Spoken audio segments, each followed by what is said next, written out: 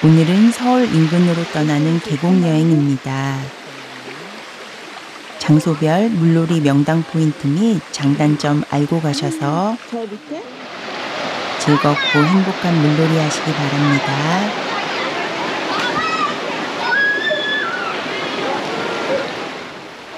첫 번째 방문지는 대중교통으로의 접근성이 가장 좋은 삼막사입니다. 세계의 공중 화장실을 중심으로 물놀이가 좋은 곳, 그늘이 좋은 곳, 풍광이 좋은 곳으로 나뉩니다. 관악역 2번 출구로 나와 직진 후 좌측 골목으로 큰 길까지 나오셔서 지하보도를 건너세요. 우측 출구로 나가시면 정면에 버스 정류장이 보이고 6-2번 마을버스를 타시면 됩니다. 마을버스 타고 5분쯤 지나 경민교육대학교 앞에 하차하시면 바로 보이는 삼박사 입구. 주말 11시 이후에는 만차되니 자차 이용 시 참고하세요. 화재기 선불 7,000원은 그냥 내면 종일 주차한 거예요? 아, 그럼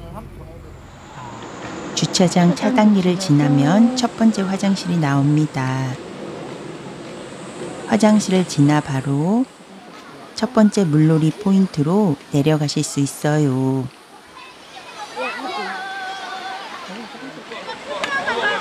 취사는 못 하시면 배달을 못 어. 장마전 촬영 영상이라 상단은 물이 조금 적은 점 참고하세요. 첫 번째 포인트는 양력 바위 위로 그늘막 치기 좋은 곳입니다. 어린 자녀들이 놀기 좋은 얕은 물도 있고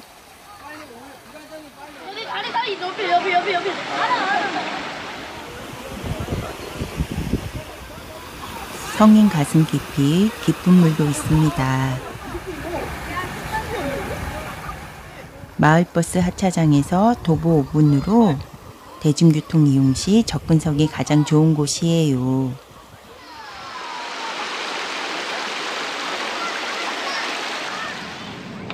삼막사 가장 안쪽 화장실로 이동합니다.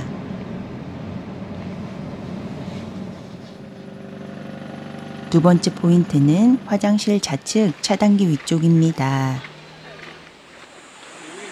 100m쯤 오르면 계곡 진입로가 있습니다. 그늘이어서 발 담그고 쉬기 좋은. 이곳은 삼막사에서 그늘이 가장 많은 곳입니다. 나무 그늘 아래서 계곡물에 발을 담그고. 한적하게 힐링하기 좋습니다. 대체로 발목 깊이 수심이지만 계곡을 따라 조금만 내려가시면 허벅지 깊이 공간들도 있어요. 물 줄었네.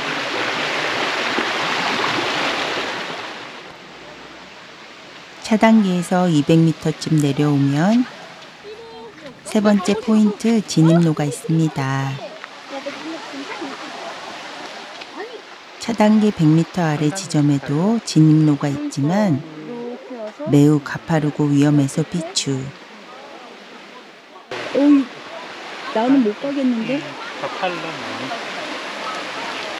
100m 더 내려오셔서 두 번째 진입로를 이용하세요.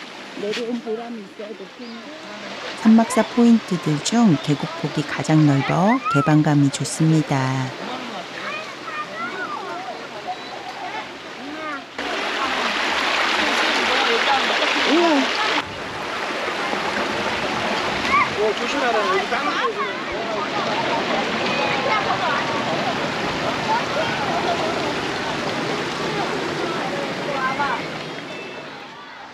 마지막 포인트는 산막사 중간 화장실 왼편에 위치합니다.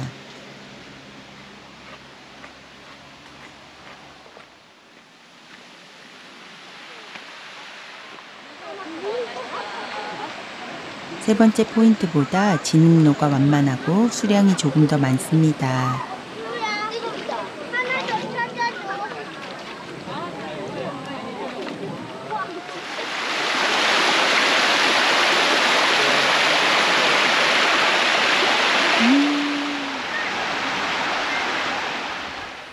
중간 화장실 200m쯤 아래에도 진입로가 있으니 참고하세요. 산막사에 유난히 무단 투기된 쓰레기들이 많아 속상하더라고요. 쓰레기는 집으로 아시죠?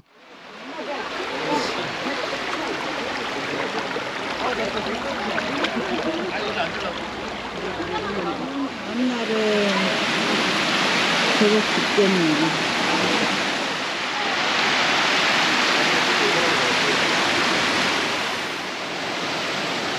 와, 여기가 서울 인근 맞나요?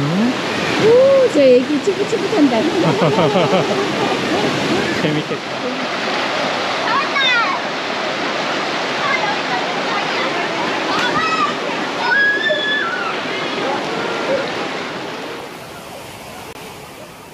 두 번째 방문지 안양예술공원입니다. 물 맑고 수량이 풍부한 서울 인근 최고의 계곡입니다. 단 공영 주차장이 매우 협소. 무료 주차와 대중교통 알려드릴게요.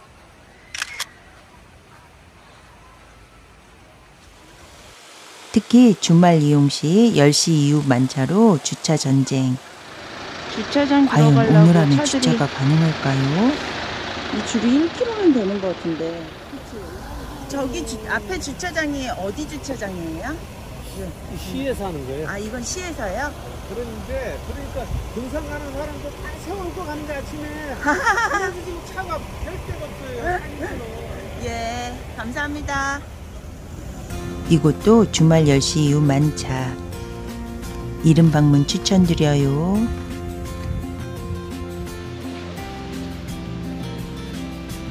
폭포수 식당 건너편에 주차장 입구가 있습니다. 길이가 긴 이 노지는 입구가 두 개. 반대편 입구는 봄설 건너편입니다.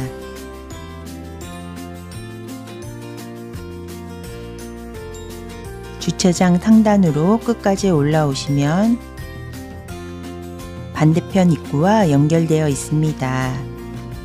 주말 방문 시 10시 이전 만차되지만 3시 이후 등산객분들 차량이 빠지기도 하여 공영 주차장보다는 경쟁이 덜 치열합니다.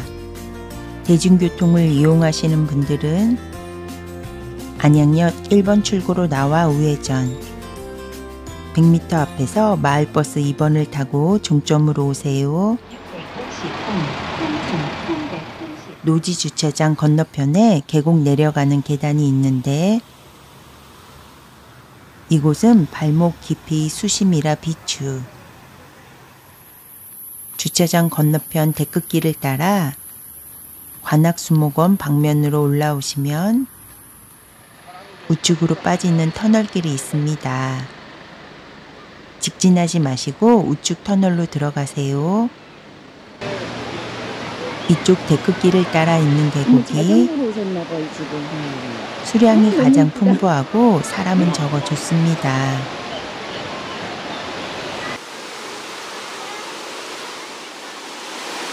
나무 아래 바위들이 많아 돗자리 펴고 그늘 맞추기 좋아요.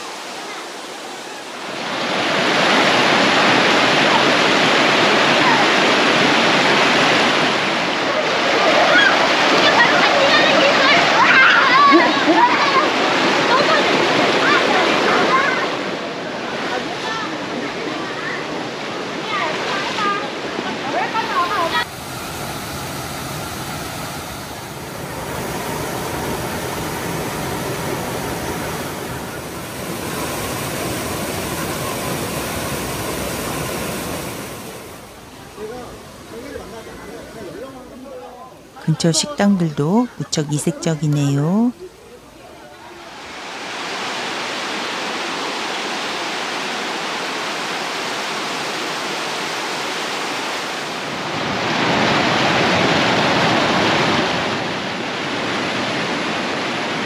이곳을 따라 걸어 올라가면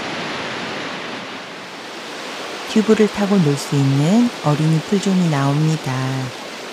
바닥색이 비쳐서 물 색깔이 탁해 보이는데 안양예술공원 인근 계곡물은 물이 깨끗합니다. 화장실은 300m 떨어진 곳에 있습니다. 안양예술공원 노예 주차장에서 150m 직진 후 자칫길로 들어가면 화장실이 가까운 오늘의 세 번째 포인트입니다.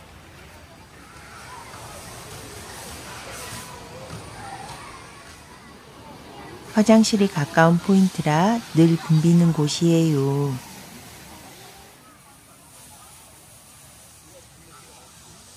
그늘막과 돗자리 펴기 좋은 피크닉 존입니다.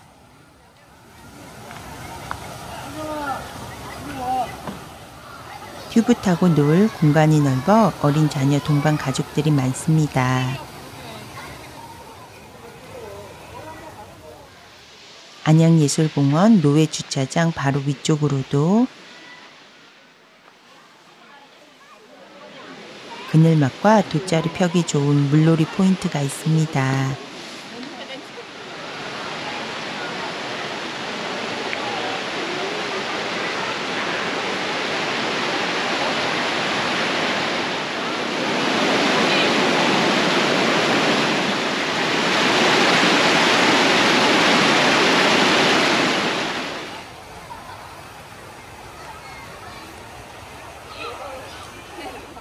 이런 여기저기 쓰레기가 있네요. 마을버스. 마을버스 종점 앞 계곡의 모습입니다. 마을버스 종점은 영상 전반 물놀이 포인트보다 하류해요. 큰 나무 아래가 명당. 안양예술공원 공영주차장에 공중화장실 있습니다.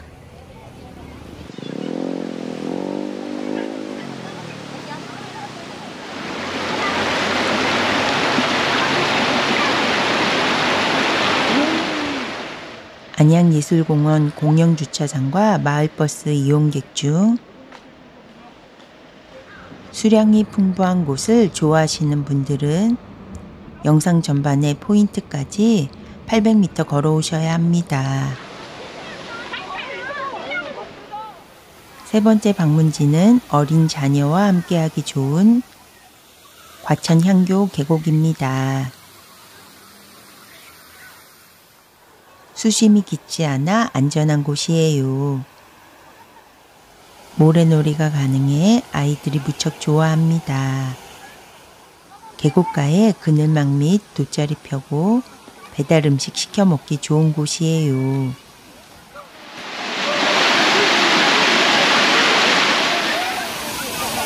어머 유치원에서 왔나봐. 아우 귀여워.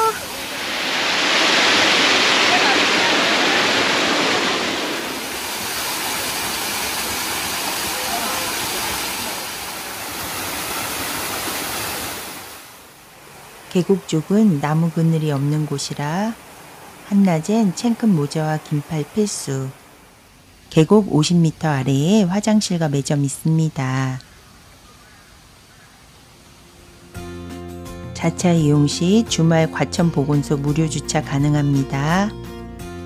공용 주차장은 갓길 따라 있는데 주말 이용 시 8시 전후 만차.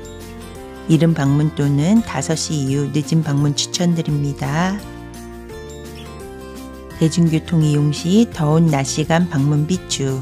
과천역 7번 출구에서 마을버스 없이 언덕길 포함 1km 정도 걸으셔야 해요.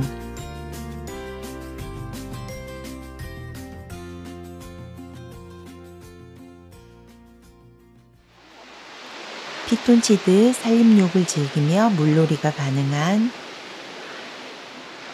네 번째 방문지는 청계산 맑은숲공원 계곡입니다.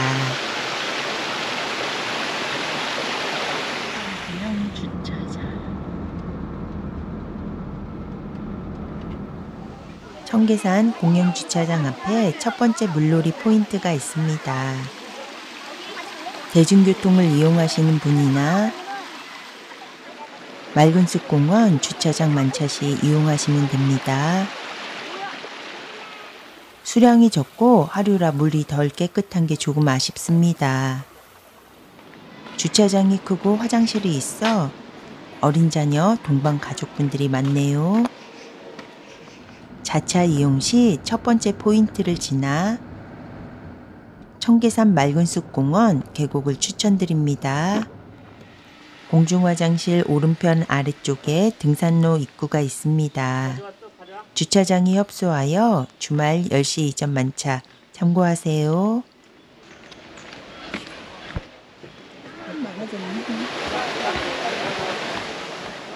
데크길을 따라 내려가면 만나게 되는 두 번째 물놀이 포인트. 구름다리 아래는 어린 자녀 동반 가족 분들이 많습니다.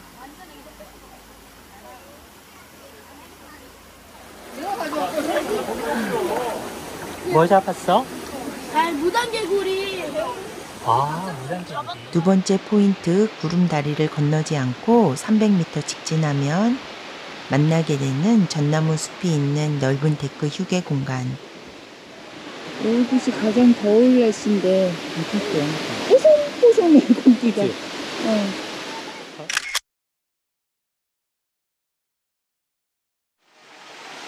구름다리 및 포인트에 자리가 없는 경우 어린 자녀 동반 가족분들께 추천드립니다. 산림욕을 즐기기 좋은 곳으로 숲 체험을 온 학생들도 종종 보이네요. 네 번째 포인트는 구름다리를 건너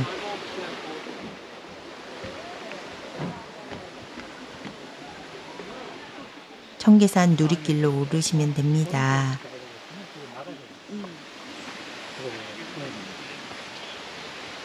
이 길을 따라 있는 계곡 어디든 자리 잡고 즐기시면 됩니다. 습도 높은 폭염의 날씨에도 뽀송뽀송 서늘합니다.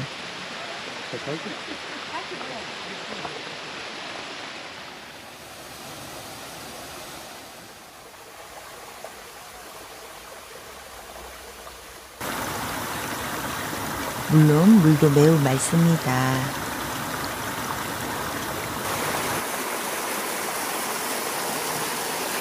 오, 알탕 포인트, 알탕 포인트. 신랑 하시오. 어?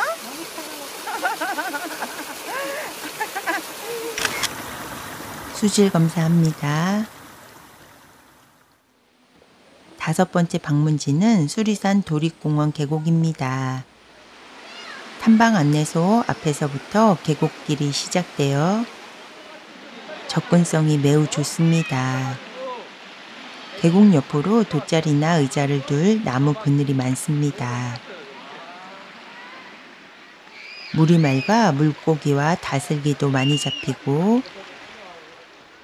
도립공원이라 관리가 잘 되어 쓰레기 없고 무척 깨끗합니다. 물고기잡이, 물총놀이 등 어린 자녀 동반 가족분들께 좋은 곳입니다. 안녕하세요.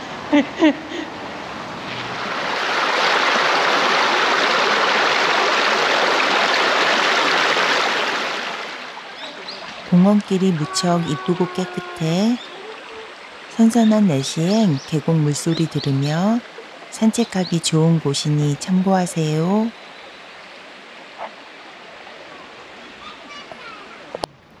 돌담집, 무릉도원 등 계곡 앞 맛집과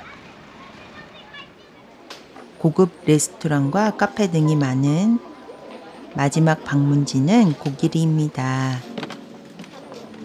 예전엔 물놀이가 가능한 유원지로 유명했던 곳인데 현재는 고급 음식점과 카페 등이 밀집되어 있습니다.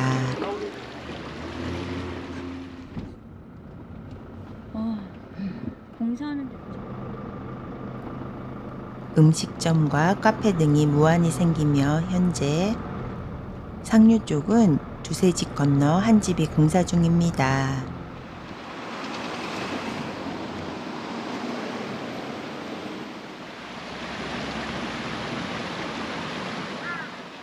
현재 고길이 물놀이는 비추.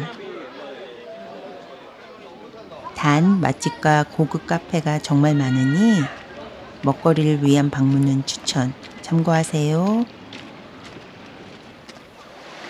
가평 계곡 입으로 다시 만나요 우리. 오늘의 여행이 즐거우셨다면